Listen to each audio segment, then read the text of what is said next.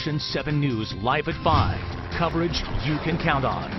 Closing arguments are scheduled for tomorrow in the Levi Chavez murder trial. The former APD cop is accused of murdering his wife Tera and trying to make it look like a suicide. Today, the jury heard from her father again, called back to the witness stand to refute some of Levi Chavez's claims. Action 7 News reporter Ana Velasquez is live with more details.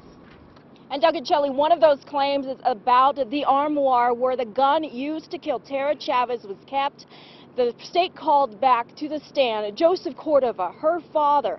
Now, Levi Chavez testified that Joseph Cordova didn't want that armoire, so he got rid of it because he thought it was cursed. I was starting to kind of transition to go back to the house, and I didn't want uh, to ever look at that cabinet again. That cabinet, or armoire, is the one the jury has seen in crime scene photos. It had Levi Chavez's old uniforms in it, and this is where he says he kept his APD-issued gun for his wife's protection. On the stand Wednesday, Chavez told the jury Tera painted that armoire and a dresser, but he didn't want to keep it. I didn't want to just get rid of it. I asked, I called the Cordovas and see if they wanted it. Okay. And did I you, spoke to Joseph. Okay, did you remind Joseph that Tera had painted those? I did.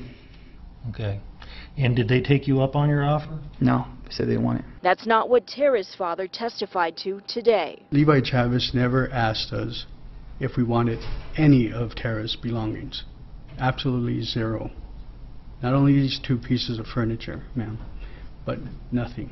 Absolutely nothing. It felt like that cabinet was just like, I'm not really superstitious, but like a curse or something. I didn't like it. I didn't want it. I was like, well, if they don't want it, why should I'm gonna go throw it in the dump? I mean, my dad went through in the dump. Those were two pieces that her and I did right before her death, right before she moved into that home. Now, Cordova was the only rebuttal witness called to the stand by the state because the state told the judge they didn't have enough time to subpoena the rest of the witnesses they would have liked to call back to the stand. Closing arguments are scheduled for tomorrow morning at 9 a.m. and they're supposed to take all day. Of course, we'll be live here for you tomorrow. And we're live tonight outside Sandoval County District Court Ana Velasquez, KOAT Action 7 News.